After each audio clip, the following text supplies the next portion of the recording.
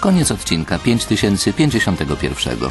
Opracowanie Telewizja Polska, Agencja Filmowa. Tekst Anna Jeziorska. Czytał Stanisław Olejniczak.